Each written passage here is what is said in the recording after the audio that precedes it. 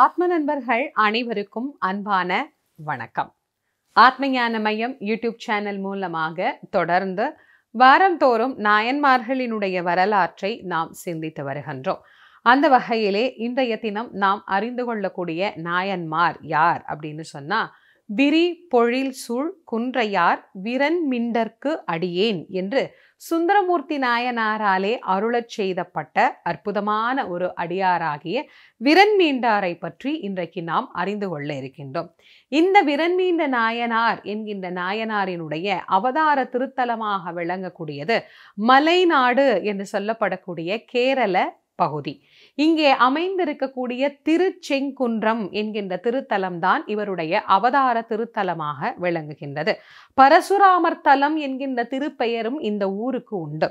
பரசுராமரினாலே இந்த உலகிற்கு தரப்பட்ட ஒரு அற்புதமான இயற்கை எழில் சூழ்ந்த நகரம் அப்படின்னா அது இன்றைக்கு நாம் பார்த்து கொண்டிருக்கக்கூடிய அந்த கேரள பகுதிகள் அப்படின்னு சொல்லலாம்.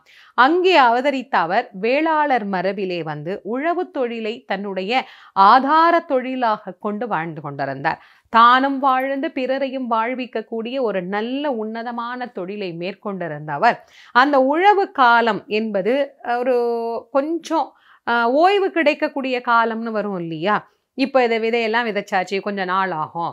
அதுக்கப்புறமா நம்ம அந்த நடுப்புற இருக்கக்கூடிய நேரத்தில் பக்கத்தில் இருக்கக்கூடிய திருத்தலங்களுக்கெல்லாம் போயிட்டு வரலாம் அப்படின்னு தன்னுடைய வேலையும் பார்த்து கொண்டு திருத்தல யாத்திரை செய்வது அப்படிங்கிறத ஒரு மிகப்பெரிய தன்னுடைய கொள்கையாகவே கொண்டிருந்தார் எப்பெல்லாம் நேரம் கிடைக்குதோ அப்பெல்லாம் ஒரு தலத்துக்கு போய் வழிபட்டு விட்டு வருவார். இது ஒரு நல்ல அற்புதமான கொள்கை. ஆனால் இப்போ பல பேர் என்ன நினைக்கிறாங்க? போகலாம் இப்போ நமக்கு என்ன வயசாயிடுச்சு? கொஞ்சம் வயசானதுக்கு அப்புறம் கொஞ்சம் பணம் சேர்த்துட்டு போகலாம் கொஞ்சம் எல்லாம் சேர்த்து செட்டில் பண்ணி வச்சுட்டு அதுக்கப்புறமா போகலாம் கோயிலுக்கு போகிறதுக்கும் நம்ம வாழ்க்கையில் இதெல்லாம் செய்கிறதுக்கும் என்ன சம்மந்தம் இருக்குது ஆலயம் சென்று இறைவனை தலங்கள் தோறும் வழிபடுவது அப்படிங்கிறது எப்போ வழிபடணும்? கால் நல்லா இருக்கும் போதே கை நல்லா இருக்கும் போதே உடம்பு நல்லா இருக்கும் போதே வாய் நல்லா இருக்கும் போதே இறைவனது பெருமையை பேசிடணும் வணங்கிடணும் போயிடணும் தொண்டு செய்யணும். இதெல்லாம் நமக்கு அடியார்களால் சொல்லப்பட்டது. அந்த ஒரு நிலைப்பாட்டை கொண்டு வாழ்ந்து கொண்டிருந்தார் விரண்மீண்டர் எப்பெல்லாம் வாய்ப்பு இருக்கிறதோ அப்பெல்லாம் ஒவ்வொரு தலத்துக்கும் சென்று அடியார்களை வணங்கி ஆண்டவனை வணங்குவார். அவர் ஆண்டவனை காட்டிலும் அடியார்கள் மீது அதீதமான பக்தி கொண்டிருந்தார். அடியார்கள் அப்படின்னு சொன்னாலே அவர் இறைவனுக்கு தருவதை விட பல மடங்கு மதிப்பு கொடுப்பார் அவர். அப்படி ஒரு முறை அவர் திருவாரூருக்கு எழுந்தருளுகிறார். ஆரூர் அப்படின்னு சொன்னாலே நம்ம எல்லாருக்கும் ஞாபகம் வரக்கூடியது சுந்தரமூர்த்தி நாயனார் தான். இந்த கதையை இந்த வரலாற்றை நாமெல்லாம் படிப்பதற்கு காரணமாக அமைந்த மூலகர்த்தா அற்புதமான இக்கதையின் கதாநாயகன் சுந்தரமூர்த்தி நாயனார். அந்த சுந்தரமூர்த்தி நாயனாரினுடைய வாழ்வு திருத்தலமாகவும் இறைவன் அருள் தந்த திருத்தலமாகவும் விளங்கக்கூடியது ஆரூர். பிறக்கமுத்தி தலம் அப்படின்னா அது திருவாரூர். ஆரூர் திருத்தலத்தை பற்றி நிறைய சொல்லிக்கொண்டே இருக்கலாம். நமக்கு வந்து தியாகேசர் அப்படிங்கிற திருநாமத்தோடு இறைவன் அங்கே எழுந்தருளி அருள் புரிகிறார். ரெண்டு ராஜா உண்டு. ஒருத்தர் சிதம்பரத்தில் இருக்கக்கூடிய நடராஜா இன்னொருத்தர் திருவாரூரில் இருக்கக்கூடிய தியாகராஜா. இந்த ராஜா கிட்டே எது கேட்டாலும் கிடைக்கும் அந்த ராஜா கிட்டே எது கேட்டாலும் கிடைக்கும். மிகப்பெரிய சக்கரவர்த்திக்கு சமமாக எம்பெருமான் அங்கு ராஜா என்கின்ற அந்த பெயரோடு இருக்கிறாரா அப்படின்னு ஒருத்தர் கேட்டார். அவர் பேரைத்தான் பின்னாளில் வருகிற மன்னர்களுக்கு வைத்தார்கள் ராஜானா ஓ அவர் உயர்ந்தவர் தலைவர். இறைவனுக்கு தான் பெயர் முதலில் வந்தது அவர் நடராஜா இவர் தியாகராஜா. அப்படி அற்புதமான அந்த தியாகராஜ பெருமானை வழிபட்டு இறைவனது அருளை பெற வேண்டும் என்கின்ற எண்ணத்தோடு திருவாரூருக்கு எழுந்தருளுகின்றார். தேவாசிரியர் மண்டபம் என்ற ஒரு மண்டபம் உண்டு. அடியார்கள் எல்லாம் கூடி அமர்ந்த ஆண்டவனின் பெருமையை பேசுகின்ற இடம் அந்த இடம். அந்த இடத்தில் அமர்ந்து கொண்டு அடியார்களிடத்திலே உரையாடி கொண்டிருக்கிறார். ஒரு கோயிலுக்கு போனோம்னா இப்போ நாம் எப்படி கோயிலுக்கு போகிறோம் நேராக விறுவிறுவிறுன்னு கோயிலுக்கு போவோம். அபிஷேகம் ஆகுதா? ஆ சரி சரி. என்னால் எல்லாம் நிற்க முடியாது. நீ வேணால் இருந்து பார்த்துட்டு வா. நான் வேகமாக போகணும் அப்படின்னு கிளம்பி வீட்டுக்கு போயிடுவோம் பல ஆண்களுக்கு இப்படி ஒரு பழக்கம் இருக்குது வீட்டுக்கு போய் என்ன பண்ண போகிறாங்க மறுபடியும் வீட்டில் உட்காந்து டிவி பார்க்குறது வேறு ஏதாவது வேலை செய்கிறது ஏன் அங்கே இருக்கக்கூடிய அந்த நேரத்தை கோவிலில் இருந்து செலவு பண்ணால் என்ன அப்படின்னு மனைவி கேட்டால் ரெண்டு பேருக்கும் சண்டை வருது. பல மனைவிமார்கள் அது வந்து எங்கள் வீட்டுக்காருக்கு கோயிலுக்கு வந்தால் பொறுமையே இருக்காது. அதனால் நான் கூப்பிட்டு வர மாட்டேன் என் பையனுக்கு கோயிலுக்கு வந்தால் பொறுமையே இருக்காது. எங்கே போனாலும் பொறுமை இருக்கும். ஆனால் கோயிலுக்கு வந்தால் பொறுமை இருக்காது. அதை நாமளே சொல்லிடுறோம். இப்போ நிறைய பேர் பெருமையாக வேற சொல்கிறாங்க என் பிள்ளை கோயிலுக்கு வந்தால் பொறுமையாக உட்காராது. அதனால் என் பிள்ளைக்கு பதிலாக நானே சாமி கும்பிட்டுக்கிறேன். இப்படி சாப்பிட என் பிள்ளைக்கு பொறுமை பத்தாது. அதனால் என் பிள்ளைக்கு பதிலாக நானே சாப்பிட்டுக்கிறேன்னு சொன்னால் எப்படி இருக்கும்? அப்படிதான் பல பேர் நாமளே அவங்கள தயார்படுத்திக்கிறோம். சரி சரி நீங்கள் வந்தால் பொறுமையாக இருக்க மாட்டீங்கன்னு. கோயிலுக்கு போனால் பொறுமையாக நிதானமாக இறைவனது பெருமையை பாடி பேசி பரவுகிற அடியார்கள் ஏதாவது சொன்னால் அதை கொஞ்சம் காது கொடுத்து கேட்போம்.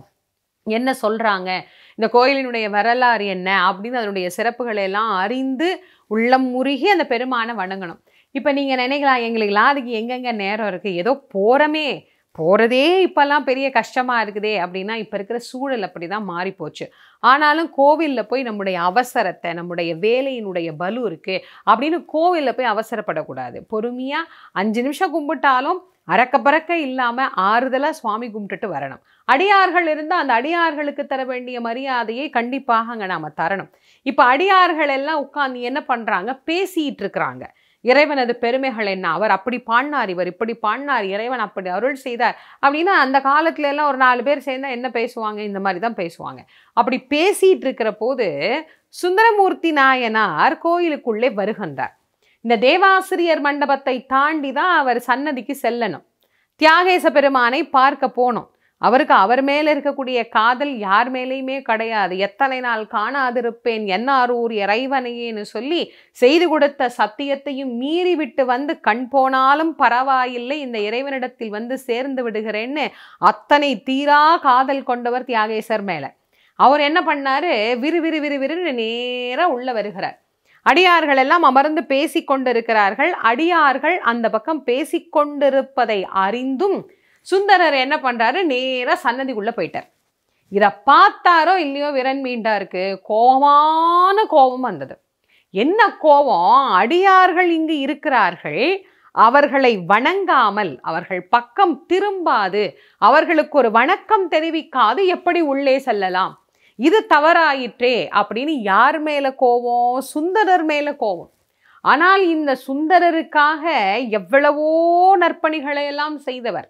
அவருடைய பெருமைகளை எல்லாம் இந்த உலக மக்களுக்கு சொல்லிக் கொண்டிருந்தார். சிவபெருமான் அவரை எப்படி ஆட்கொண்டிருக்கிறார் பாருங்கள் என்று அவரை பற்றி பெருமை பேசிக் கொண்டிருந்தவர் தான் இந்த பிரன்மீண்டர் ஆனால் அடியார்களை நிராகரித்து விட்டார் என்று தெரிந்த உடனே அவருக்கு அவ்வளோ கோபம் வந்தது.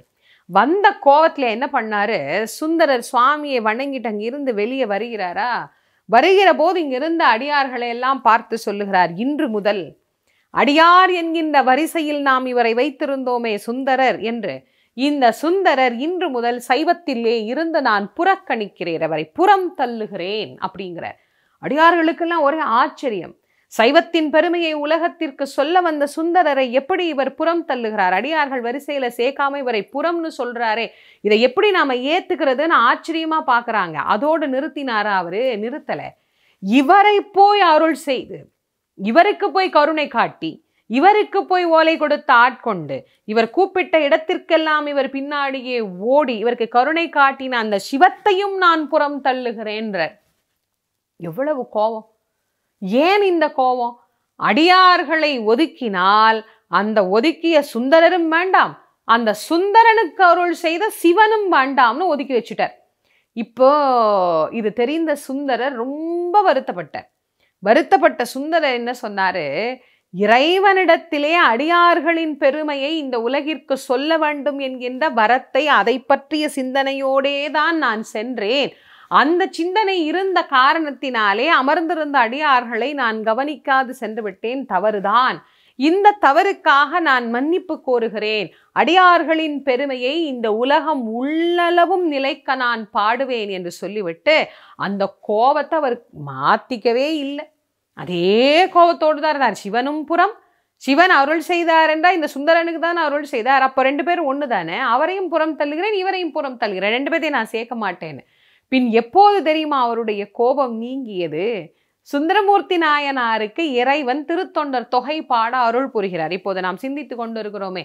தில்லை வாழ் அந்தனர்தம் அடியார்க்கும் அடியேன் திருநீலகண்டத்து குயவனார்க்கும் அடியேன்னு தொடர்ந்து நம்ம பார்த்துட்டே இருக்கிறோம் இல்லையா? இந்த திருத்தொண்டர் தொகை பாடுவதற்கு இறைவன் முதல் எடுத்து கொடுக்க. அந்த திருத்தொண்டர் தொகையை எப்போது பாடி முடித்தாரோ சுந்தரர் அப்போதுதான் விரண்மீண்டார் சமாதானம் கொண்டார். சமாதானம் கொண்டவர் என்ன பண்ணாரு? இவரை நான் இனிமேல் உலக மக்கள் எல்லோருக்கும் அடியாருக்கு அடியாராக உயர்த்தி காட்டுவேன் அப்படின்னு சொல்லுகிறார். புறம் தள்ளி அவரை இனிமேல் நான் இதற்குள் சேர்த்து கொள்ளுகிறேன். ஏன்னா அவர் இனி புறம் அல்ல அடியார்கள் பெருமையை தெரிந்து பாடிவிட்டாரே அப்படின்னார். அடியார்களினுடைய பெருமையை அறியாது இருத்தல் எவ்வளவு பெரிய தவறு என்பதை சுந்தரர் வாழ்க்கை நமக்கு காட்டினாலும் விரண்மீண்டாரினுடைய வாழ்க்கை ஒருபடி மேலே சென்று நமக்கு காட்டுகிறது. என்றைக்கு அவர் சுந்தரர் மீது இருக்கின்ற அந்த கோபம் நீங்கி அவரை ஏற்றுக்கொள்ளுகிறாரோ அப்போது சிவபெருமான் அவருக்கு காட்சி கொடுக்கிறார். காட்சி கொடுத்து சொல்லுகிறார் அப்பா அடியாரோடு சேர்த்து என்னையும் ஒதுக்கி விட்டாயே அப்படிங்கிறார். சுவாமி இல்லை சுவாமி. உன் மீது எனக்கு என்ன கோபம்? எனக்கு ஒரு கோபமும் இல்லை. ஆனால் சுந்தரர் அடியார்களை புறம் தள்ளினாரே என்பதனால் தான் அவரை நீ ஒரு வார்த்தை கூட கேட்கலையே. உள்ள வருகிற போது நீ கேட்டிருக்கலாமே ஏனப்பா அடியாரை வணங்காமல் வந்தா என்று நீயும் அமைதி காத்த காரணத்தினால் தான் சுவாமி நான் உங்களையும் கோவித்து கொண்டேன். என்னை மன்னித்தொருள வேண்டும் என்று பெருமானிடத்திலே விண்ணப்பித்தார். எம்பெருமான் பார்த்தார் இப்படி ஒரு ஆள்தான் சிவபூத கணங்களுக்கெல்லாம் தலைவனாக இருக்க வேண்டும். இன்று முதல் இங்கே இருக்கக்கூடிய சிவபூத கணங்கள் அனைத்திற்கும் நீயே தலைவனாக இருந்து இவர்களை எல்லாம் வழிநடத்துவாயாக என்று ஒரு உன்னதமான தலைமை பதவியை எடுத்து அவரிடத்திலே கொடுக்கின்றார். ஒரு அற்புதமான வாழ்க்கையை இந்த பிரன்மீண்டாரினுடைய வாழ்க்கையிலிருந்து நம்மால் அறிந்து கொள்ள முடிகின்றது. நமக்கு ரெண்டு வகையான பற்றுகள் உண்டு. புறப்பற்று அகப்பற்று அப்படின்னு சொல்றோம். புறத்தில் இருக்கக்கூடிய பற்றை நீக்குவது அப்படிங்கிறது ரொம்ப எளிமையானது. ஆனால் அகத்தில் இருக்கக்கூடிய பற்றை நீக்குவது என்பது அவ்வளவு எளிமையானது கிடையாது. அதிலும் குறிப்பாக இறைவன் மீது வைத்திருக்கக்கூடிய பற்றையே அவர் நீக்கிவிட்டார். இறைவன் மீது வைத்திருந்த பற்றை நீக்கிய காரணத்தினால்தான் அடியார்களை புறம் தள்ளிய சுந்தரனையும் சுந்தரருக்கு அருள் செய்த சிவனையும் புறக்கணிக்கிறேன் அப்படின்னு அவர் சொன்னார். இல்லைன்னா இறைவனை அவர் போர் தள்ளுவாரா? இறைவனை போய் ஆவாது நீ தள்ளி வைக்கிறேன் அப்படின்னு அவர் சொல்ல முடியுமா? இல்லை இல்லை. அப்போ அவர்கிட்ட என்ன இருந்தது? முழுக்க முழுக்க அடியார்கள் மீதே தன்னுடைய சிந்தையை வைத்து வாழ்ந்த ஒரு அற்புதமான நாயன்மார் அப்படின்னா விரண்மீண்டார் தான். இந்த வரலாற்றிலிருந்து நாம் என்னங்க தெரிஞ்சுக்க போகிறோம் அப்படின்னா ஆண்டவனை வணங்குவது அப்படிங்கிறது இயற்கை. ஆனால் அடியாரை வணங்குவது அப்படிங்கிறது பலரும் மறந்த ஒன்று. இன்றைக்கு அடியார்களை பல பேர் வணங்குவதே கிடையாது. சிவன் கோவிலை நீங்கள் பார்த்தீங்க அப்படின்னு சொன்னால் நாயன்மார்கள் இருப்பார்கள். சிவபெருமான் சன்னதியில் நின்று உருகி உருகி நயந்து நயந்து பாடி பாடி வழிபடுவது சரி. அதெல்லாம் நியாயமானது தான் இல்லைன்னு நான் மறுக்கவே கிடையாது. ஆனால் அந்த நாயன்மார்கள் சன்னதியை பார்த்தா கையெடுத்தாத ஒரு கும்பிடு போடணும்ல. இந்த அடியார்கள் இல்லை அப்படின்னு சொன்னால் இறைவன் பெருமை என்னன்னு நமக்கு தெரியும். சோதிப்பதற்காவது அடியார்கள் வேணும் தானே? அப்போ தானே ஆண்டவனின் அருள் என்னங்கிறது இந்த உலகத்துக்கு புலப்படுத்த முடியும். ஆனால் இந்த அடியார்களை பார்க்குறதே இல்லை. அப்படியே அப்படியே ஏதோ அப்படியே வரிசையாக அப்படியே பார்க்குற மாதிரி இப்படியே பார்த்துட்டு அப்படியே நம்ம பாட்டுக்கு போயிட்டுருக்கிறோம் பல பேர் ஆலயத்தில் அப்படி தான் பண்ணுறாங்க அந்த அடியார்களை வணங்கணும். அடியாரை வணங்கினால் தான் ஆண்டவனை வணங்கிய முழு பலனும் நமக்கு கிடைக்கும். பெருமாள் கோயிலுக்கு போகிறோம் அங்கே போய் பார்த்தீங்க அப்படின்னு சொன்னால் ஆழ்வார்கள்லாம் இருக்கிறாங்க. அந்த ஆழ்வார்களையும் நாம் வணங்கணும் தானே? பெருமாளை மட்டும் வணங்கினா போதும்னு முடிவு பண்ணிடக்கூடாது இல்லை எங்கே போனாலும் சரி. அந்த ஆலயத்தில் அடியார்கள் இருப்பார்களேயானால் அந்த அடியார்களை வணங்கிவிட்டு பின் ஆண்டவனை வணங்கினால் இறைவனது கருணை பரிபூரணமாக நமக்கு கிடைக்கும் என்கின்ற ஒரு உன்னதமான அருமையான வாழ்க்கை தத்துவத்தை உணர்த்தி காட்டிய விரண்மீண்டார் அப்படிங்கிற இந்த நாயனாரினுடைய குரு பூஜையாக சித்திரை மாதம் திருவாதிரை நட்சத்திரத்தின் அன்று நமக்கு கொண்டாடப்படுகின்றது. இவருடைய வரலாற்றை தெரிந்து கொண்ட நம் எல்லோருக்கும் அடியார்களினுடைய அருளை இன்று முதல் உணரக்கூடிய தன்மையை இறைவன் அருள வேண்டும் என்று வேண்டிக் கொண்டு அடுத்த நாயன்மார்களினுடைய வரலாற்றில் உங்கள் அனைவரையும் சந்திக்கும் வரை உங்கள் அனைவருக்கும் நன்றியும் வணக்கமும் கூறி விடைபெறுவது திருமுருக வள்ளல் வாரியார் சுவாமிகளின் மாணவி தேசமங்கையர் கரசி. நன்றி வணக்கம்.